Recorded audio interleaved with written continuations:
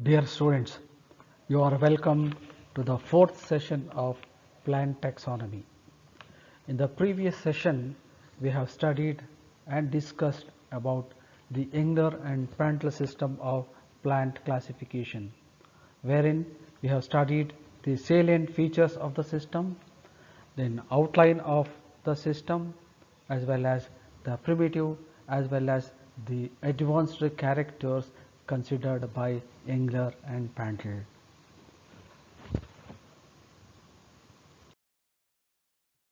In this session, we are going to study the relative merits and demerits of both the systems that is Bentham and Hooker and Engler and Prantl system of classification. At the end, you are going to learn the merits and demerits of Bentham and Hooker system of classification as well as merits and demerits of Engler and Prantl system of classification. At the same time, the distinctive features of Engler and Prantl system that separates it from that of the Bentham and Hooker system also we are going to learn. First of all, the merits or and demerits of Bentham and Hooker system. First of all, let us take up the merits of the system. Bentham and Hooker's classification is the most natural system based on actual examination of specimens. The description of plants is quite accurate and reliable.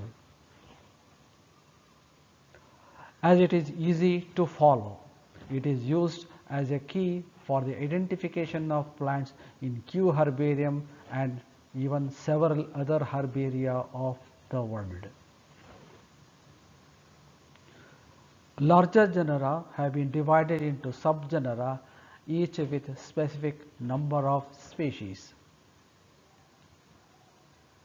The placement of monocotyledone after the dicotyledone also appears to be in accordance with the evolutionary trends. Dicots begin with the order Ranales which are now universally considered as to be the most primitive angiosperms.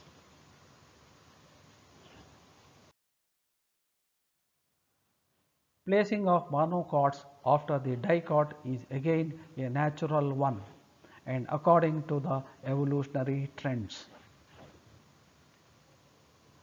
The placing of series disciflorae in between thalamiflorae and calyciflorae is quite natural. The placing of gamopetalae after polypetalae is justified since union of petals is considered to be an advanced feature over the free condition. Demerits of Bentham and Hooker system keeping gymnosperms in between dicots and monocots is an anomaly. Subclass monochlamydeae is quite artificial.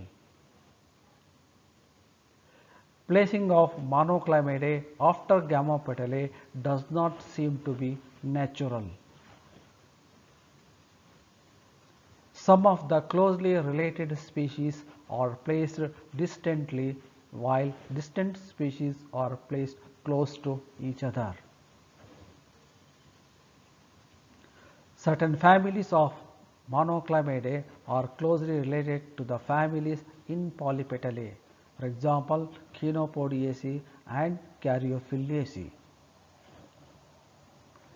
Advanced families such as Orchidaceae have been considered primitive in the system by placing them in the beginning. Placing of Orchidaceae in the beginning of the monocotyledone is unnatural as it is one of the most advanced families of monocots.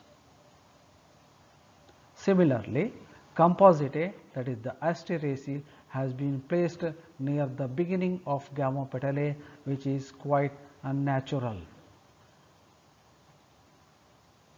Liliaceae and Amaryllidaceae were kept apart merely on the basis of the character of ovary, though they are very closely related.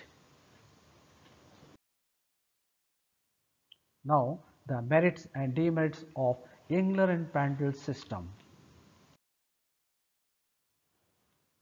First of all, the merits of the Engler and Prantl system. The entire plant kingdom was broadly treated with excellent illustrations and phylogenetic arrangement of many groups of plants was made. The amalgamation of Polypetalae and Monochlamydeae into Archichlamydeae is justified. In this system, the gymnosperms are treated separately.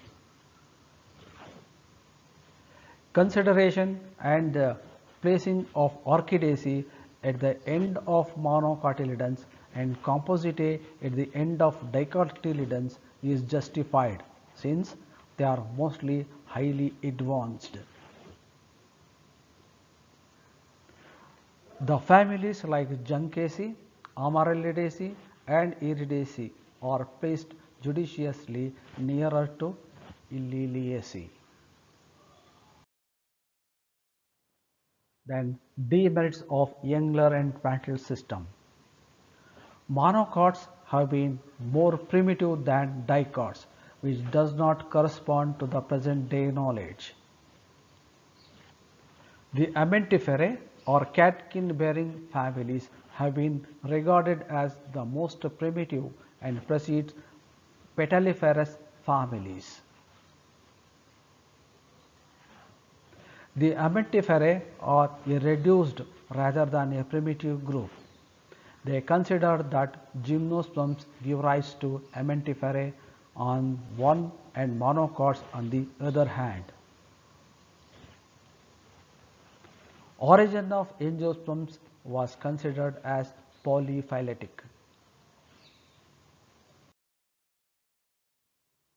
The derivation of dichlamydeous flowers from monochlamydeous ones is objectionable. According to Vesey, apetalae was de derived from polypetalae through modification.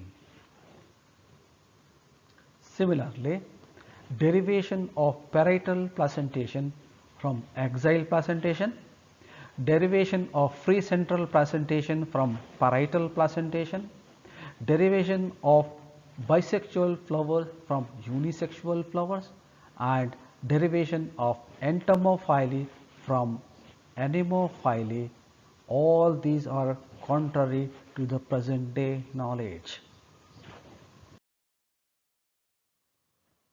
Now, the main distinctive features of Engler and Bentham and Hooker's system. The polypetalae and monochlamydeae of Bentham and Hooker are amalgamated and placed into a single group that is the subclass called Archichlamydeae. The families of the flowering plants are arranged in ascending order with the increasing complexity of flowers, mainly floral envelope. Monocotyledons are placed before dicotyledons. The term natural order has been replaced by family. Similarly, the term series or cohort has been replaced by order.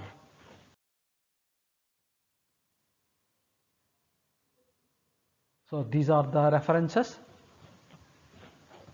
plant taxonomy by O.P. Sharma, then plant systematics by Guru Charan Singh, then International Code of Nomenclature for algae, fungi and plants that is ICN which is a recent one that also you can visit the website.